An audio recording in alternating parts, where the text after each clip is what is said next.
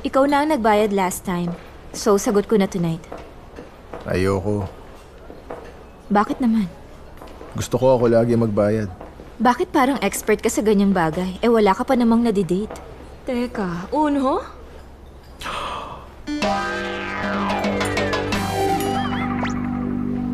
Kuya?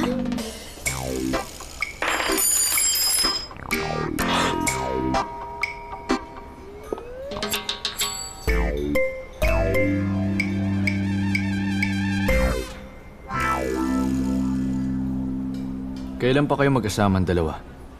Simula 6 o'clock. Hindi yan ang ibig kong sabihin sa tanong ko.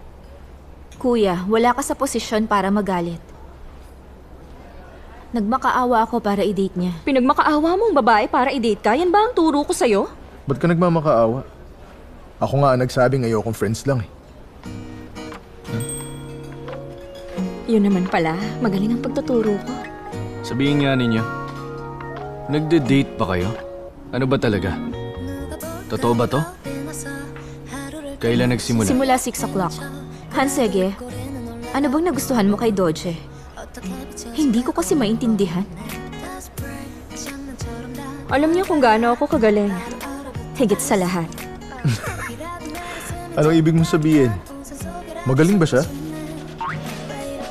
Nagdidelirio ko yata eh. Eh kung ganon, ikaw. Anong nagustuhan mo sa kapatid ko? Maldita siya eh. At yun ang charm niya. Anong ibig mo sabihin? Matalas lang ang dila ng kapatid ko pero mabait siya. Ano ka ba? Maldita ako. Ang cute-cute yung lahat. May problema nga kayong dalawa. Oo, tama ka. May problema nga silang dalawa.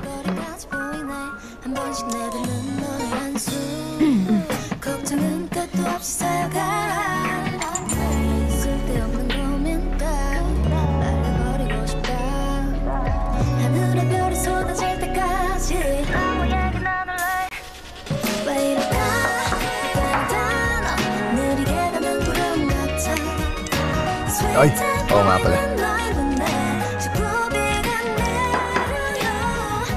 Ako ang dapat mong unahin.